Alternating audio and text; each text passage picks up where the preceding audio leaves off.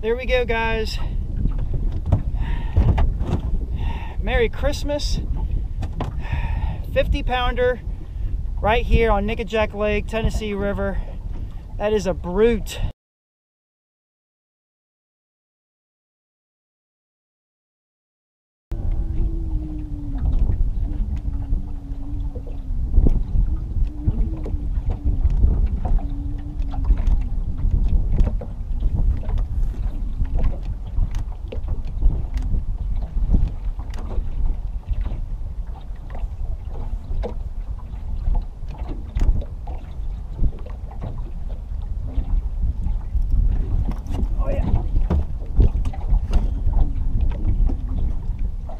Good fish.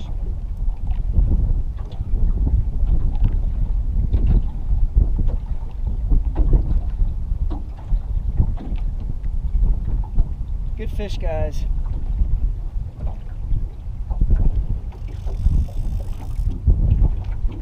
I was checking my motor, and then a rod just went down. He keeps going.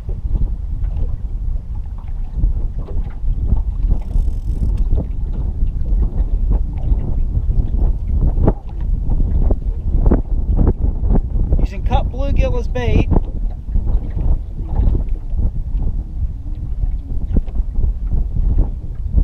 It's a big fish.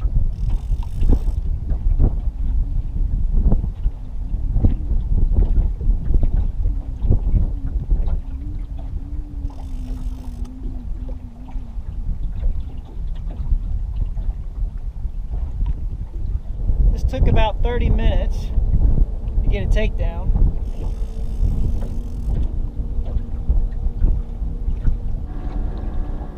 Looks like we got a boat coming down.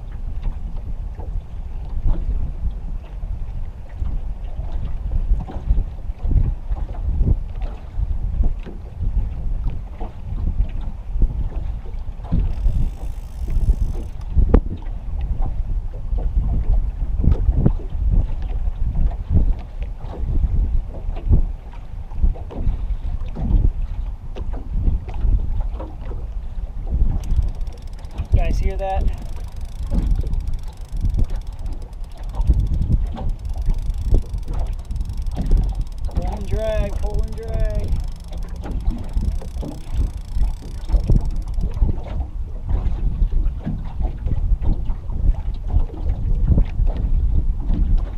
His head's shaking down there. Just hope I don't lose him.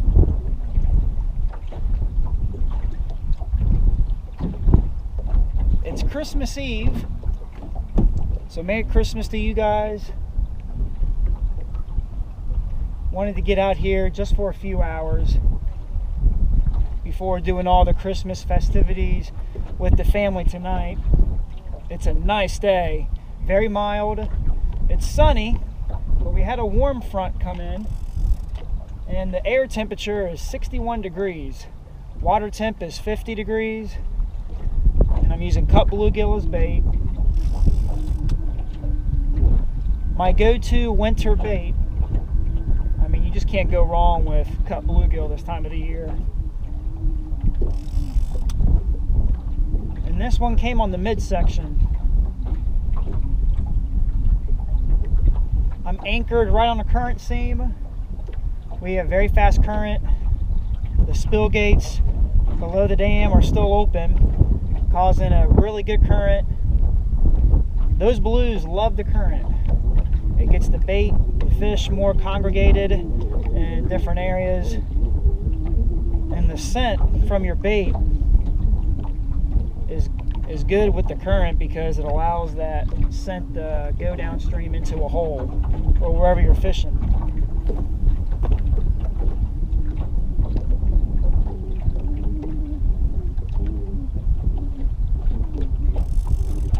But this is a big boy here.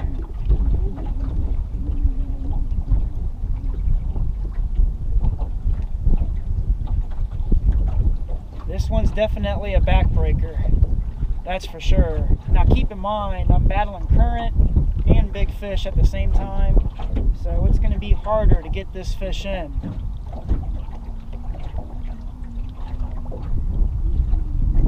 This one may be over 50, I don't know. I mean, hard to tell in this current.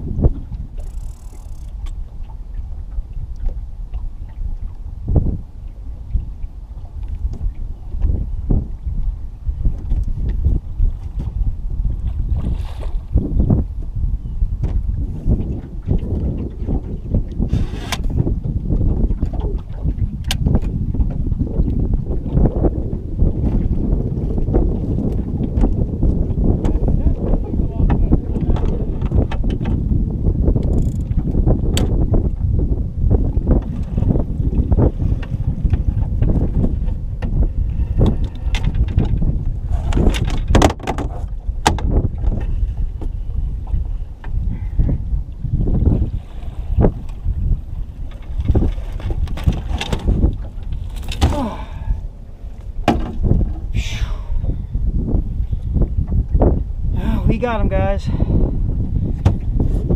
Good fish. What a fight. Oh, man, my back is killing me.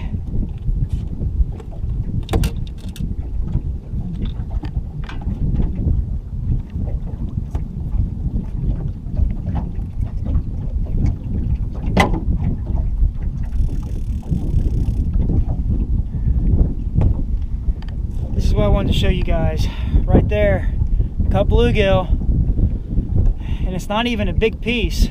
Sometimes you have to downsize in the winter time because the catfish will bite finicky and they can be slow to the touch when taking the bait. So sometimes I'll downsize.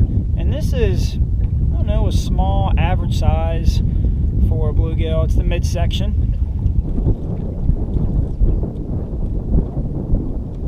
52 pounds minus the net. You're looking 50 and a half, maybe 51 pounds. So we'll just say a solid 50 pounder. It's a really good fish. It's my second biggest fish of the year. And because it's Christmas Eve, um, probably my last biggest fish of the year. That's a really good fish. There we go, guys. Merry Christmas. 50 pounder right here on Nickajack Lake, Tennessee River. That is a brute. Look at this fish. See if I can get a better angle for you.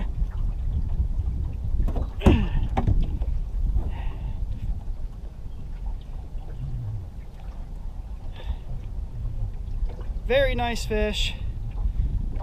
Let's go ahead and release them.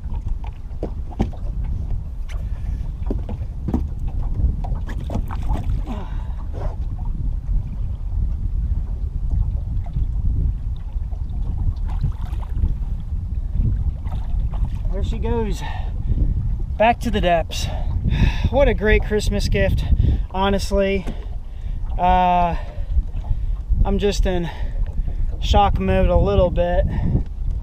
It's been tough to find a fish that's 50 pounds or bigger this year. So that's the second fish this year where i've broken 50 um, and i'm in one of my favorite holes here on the river.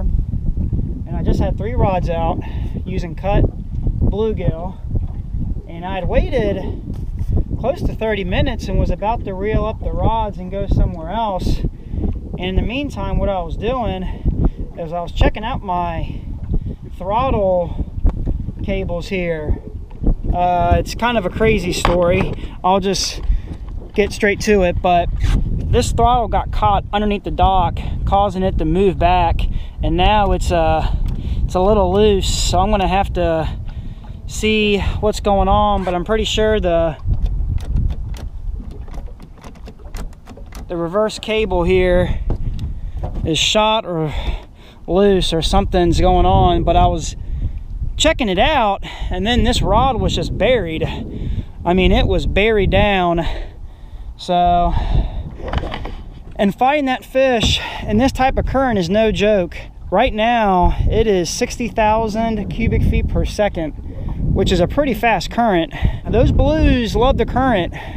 If you can get settled in a hole or some sort of structure and you have a bloody bait on there and it gets that scent going, those blues will get it. So current is always a good thing when fishing for blue catfish and I'm just thankful to get something like this here. Hope y'all had a good Christmas and that you guys have a happy new year. Tight lines, fish on, back to the depths. We'll see you later.